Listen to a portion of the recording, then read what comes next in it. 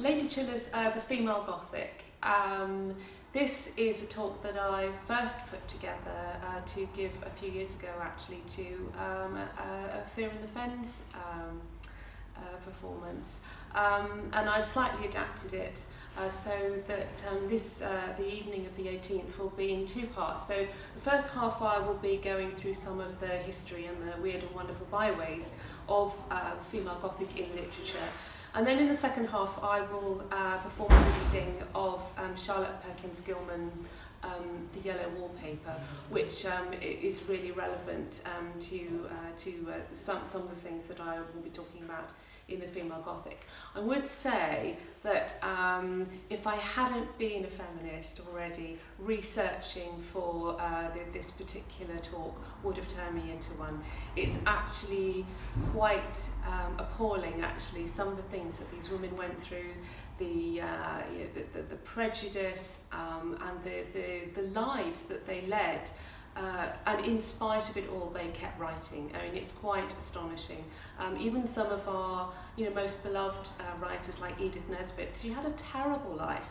And I'm sorry to say, mostly um, led into these terrible things by their menfolk, by either feckless husbands or useless brothers or you know people you know menfolk gambling their money away or inconveniently dying at the wrong time.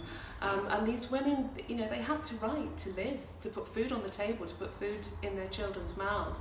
They didn't have um, the luxury of um, uh, like M.R. James, you know, a, you know, a sinecure at a, at a good public school, you know, where they were, you know, fed and watered and, you know, could spend their time writing and studying. You know, they, you know, if they didn't, if they didn't produce writing for which they got paid, they would have starved.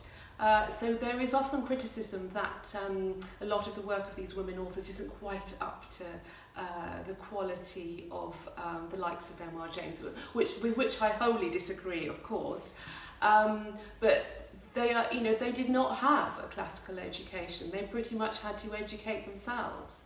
So these things must be borne in mind.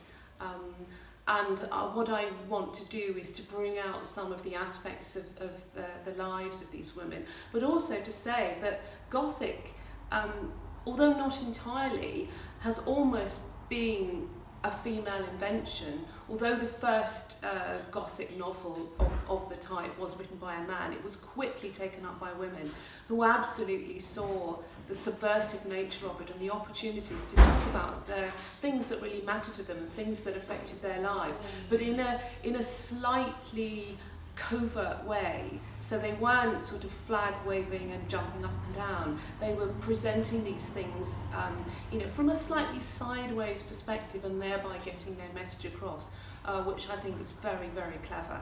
Um, so yes, so it's going to be a, a, quite a surprising evening. I think I'll be covering quite a lot of ground, and uh, then we'll be finishing, as I say, with uh, my favourite stories, which is the Yellow Wallpaper.